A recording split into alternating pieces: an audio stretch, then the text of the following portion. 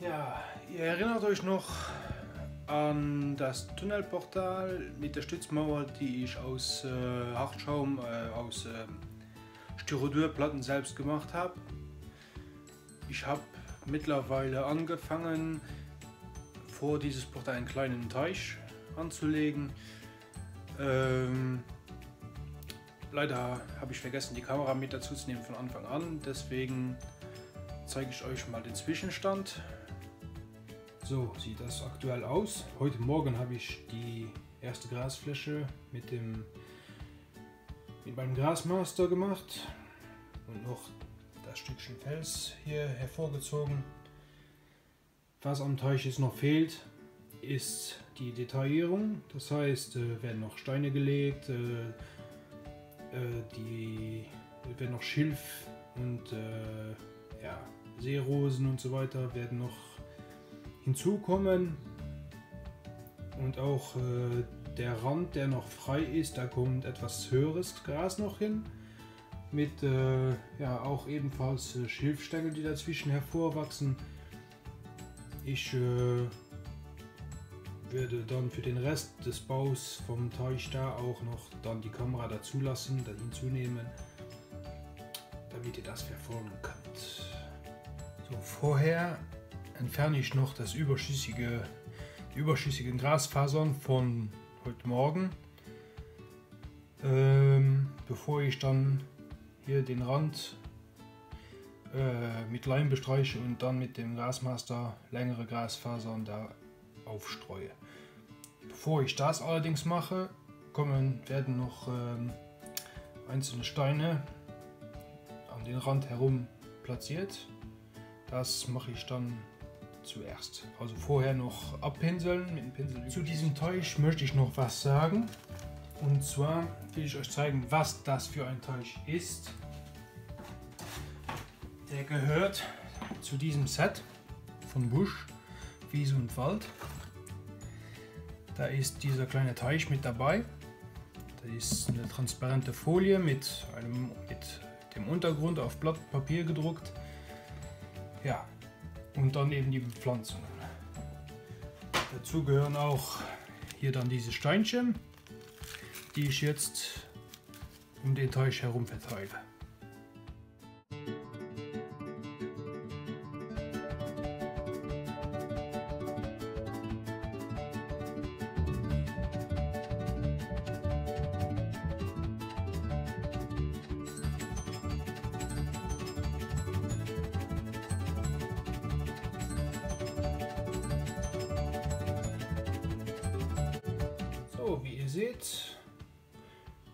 Ich glaube, das reicht mit Steinen. Da ist noch ein Faden vom, vom Leim, vom Kleber. Ja, wie ihr seht, ich würde sagen, hm, völlig ausreichend mit Steinen. Schon fast zu viel. Ist noch übrig und das nur so ein Mini-Tütchen. Hm. Geklebt habe ich die Steine jetzt mit U alles Kleber. Ja, Jetzt lasse ich das mal trocknen und ja, dann komm, schmelde ich mich später zurück, äh, wenn es ans Begrünen geht. Bis gleich. So, da sind wir wieder. Die Steine sind mittlerweile fest. Der Kleber ist trocken. Jetzt geht es dann an das Bestreuen mit Grasfasern. Dafür nehme ich dann wieder meinen allseits geliebten Pona Classic Weißleim. Damit bestreiche ich dann die Fläche hier rundherum und dann kommt der Grasmaster zum Einsatz und dann mal sehen, wie es weitergeht.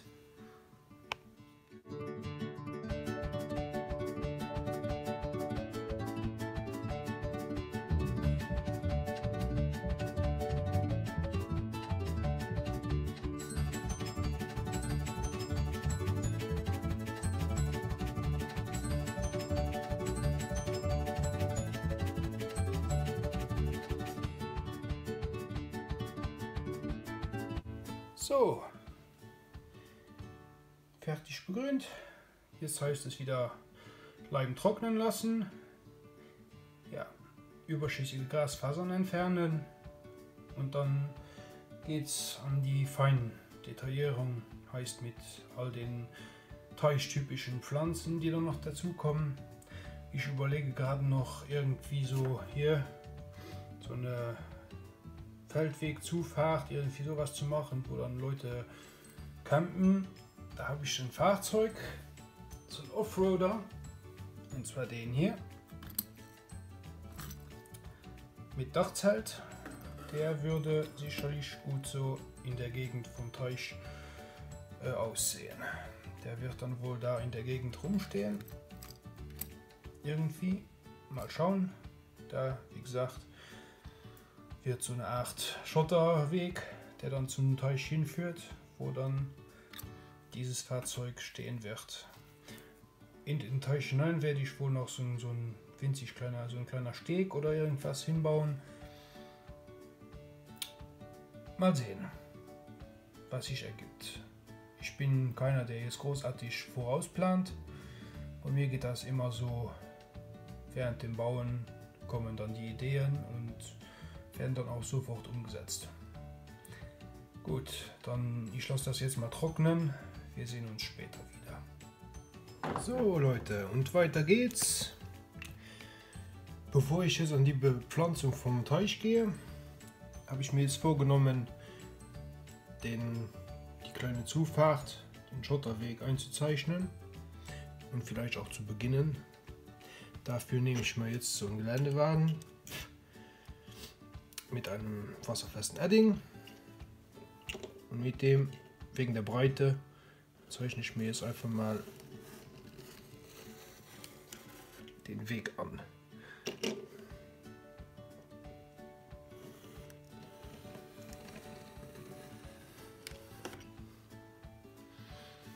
So. Ich gebe mal noch ein bisschen die Kamera runter.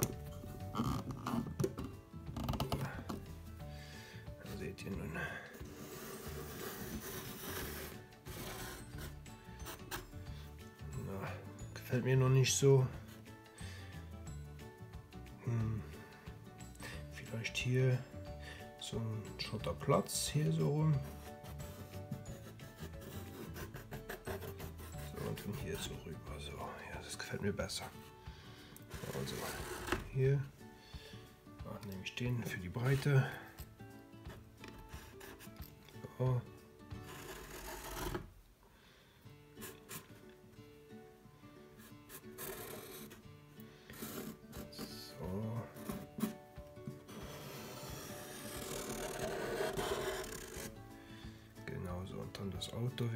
Wohl irgendwie so.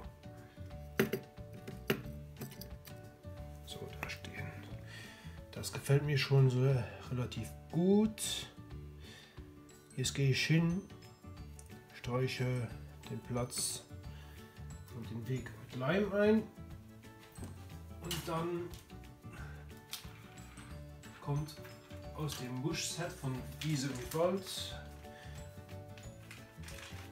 haben die so eine Mischung hinzugemacht mit aus kleinem Steinchen und Sand, das für solche Wege geeignet ist. Das werde ich dann da aufstreuen auf diese Stellen. Wenn das dann trocknen ist, passe ich noch ein bisschen hier Gras an, begrüne ich das noch ein bisschen rundherum und dann erst werde ich den Teich bepflanzen.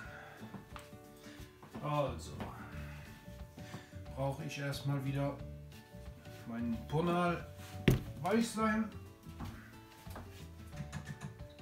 einen Pinsel zum Leim auftragen.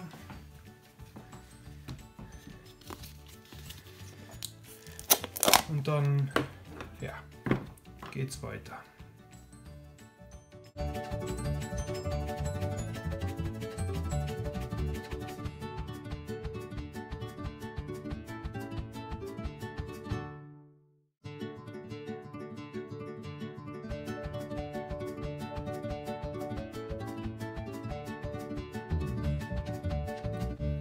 So, das wurde jetzt schön bestreut mit diesem Pulver.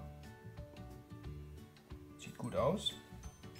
Ich habe jetzt noch mit dem äh, mit einem Wagen so Reifenspuren eingezogen. Mal sehen, wenn später trocken ist und das überschüssige Material abgetragen wurde, ob sie dann noch sichtbar sind. Da bin ich mal gespannt. So, und wie gesagt, hier rum wird dann noch später begrünt. Und dann geht es noch an die Bepflanzung vom Teich. Dazu gab es in diesem Set vom Busch hier diese Zierpflanzen und Pilze, Schilf, was auch immer, alles was dazugehört. Ebenfalls diese Grashalme, das soll entweder Weizen oder getrocknetes Gra getrocknete Grashalme, die dann so um den Teich herum platziert werden, darstellen. Laut Anleitung von diesem Set. Das werde ich dann später machen oder auch vielleicht sofort. Mal sehen, wie ich Lust habe. Auf jeden Fall will ich jetzt erstmal das hier trocknen lassen. Mal sehen, wie das jetzt aussieht, wenn das Auto dann hier drauf steht. So, der wird dann, wird dann hier so später parken. Mal schauen, ob ich irgendwann mal im Handel die passenden Preiseleien dafür finde. Oder, ja, oder Leute vom Noch oder sowas. So, der Teich sieht schon mal sehr, sehr gut aus, finde ich. So von der Seite flach ange, angefilmt. Sieht jetzt schon sehr gut aus. Obwohl die Wasserfläche ja eine Kunststofffolie ist, transparent, sieht das schon sehr gut aus. Sehr angenehm überrascht bin ich darüber, wie das so aussieht. Ja, da wird noch nachgebessert. Diese Halme haben ja nichts im Wasser verloren. Ja, ich finde es gut. Na, äh, wir sehen uns später, wenn der Leim getrocknet ist, wenn ich das überschüssige Material wegnehme und den Rest begrüne. Und dann, ich, ich werde diese Pflanzen für den Teich vorbereiten und die dann auch später dann einsetzen mit eurer Anwesenheit. Bis später.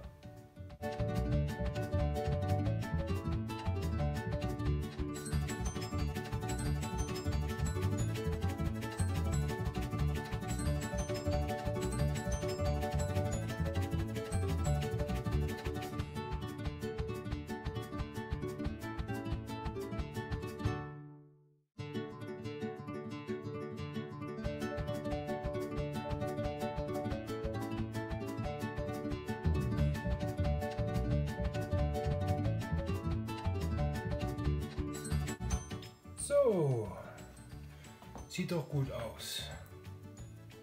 Der Weg ist gemacht, ist getrocknet. Das Gras rundherum ist gestreut. Das Auto steht auch an seinem provisorischen Platz. Jetzt geht es ans Bepflanzen. Ich habe da ein paar vorbereitet.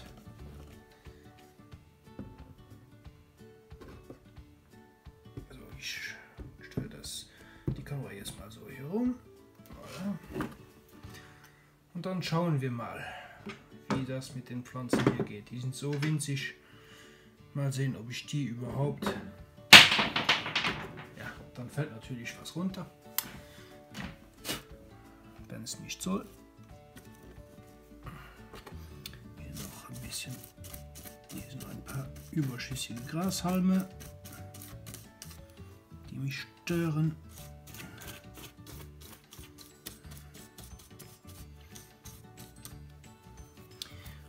Kurz absaugen.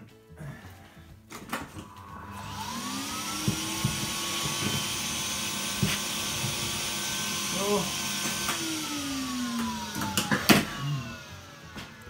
So, und dann, wie gesagt, hier habe ich dann solche Blätter, die im Teich so verteilt werden. Ich lege die jetzt mal provisorisch hinein. Mal schauen, wie ich sie dann schlussendlich äh, wie die dann später definitiv liegen werden. Habe ich hier in verschiedenen Größen. Die Stängel werde ich noch abschneiden. Weil normalerweise sieht man die ja nicht. So, mal sehen. Da eins hin. Noch eins so. Dann eins hier so davor. Mal gucken. Ja.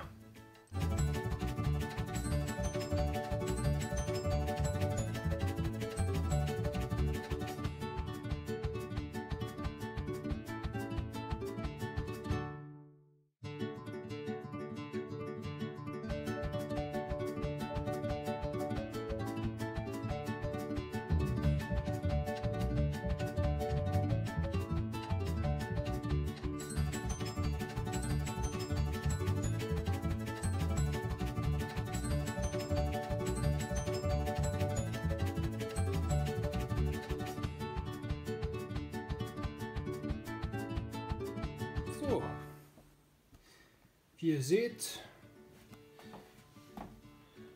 die Schilfpflanzen, diese Teichblätter, hier Blumen. Ich habe da noch einiges zu setzen. Das wird jetzt hier den Rahmen sprengen. Also so in der Richtung jetzt weitergehen. Irgendwann in einem Folgevideo, wenn es weitergeht, auf dieser Seite werdet ihr dann auch das fertige Ergebnis hier vom Teich sehen. Jeden Fall gefällt er mir sehr gut. Ich bin sehr zufrieden. Sehr schön ist das geworden. Ja, gut. Ich würde sagen, das wäre es dann für heute gewesen. Ich bedanke mich für euer Interesse, für euer Zuschauen. Ich hoffe, es hat euch gefallen. Ich würde mich über einen Daumen hoch oder ein Abo freuen. Bis zum nächsten Mal und macht's gut. Bis dann. Tschüss.